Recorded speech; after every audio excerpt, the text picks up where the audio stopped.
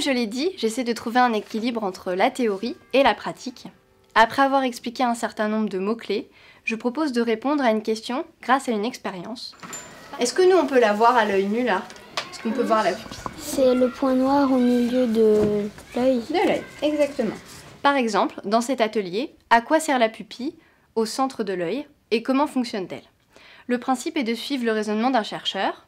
Je vais étudier un phénomène ou une partie du corps. Voilà, donc sur ce schéma, vous avez un œil. En fait, c'est un œil qui a été... J'ai quelques connaissances et je me pose des questions.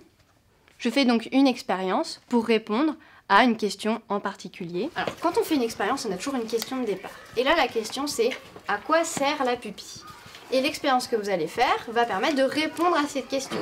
Alors, si tu connais la réponse, et grâce aux observations euh, que je vais faire, je vais en déduire quelque chose et ainsi répondre à la question de départ.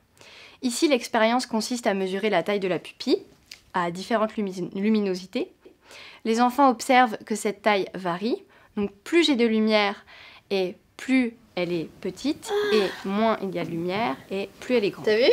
Hop, j'enlève, ça redevient gros. La pupille, elle change de taille, mais ça, elle change de taille quand ça dépend de ce que tu regardes. Et en fait, vous vous en rendez pas compte, mais n'importe où vous vous baladez dans la rue, partout, votre pupille, elle passe son temps à faire ça.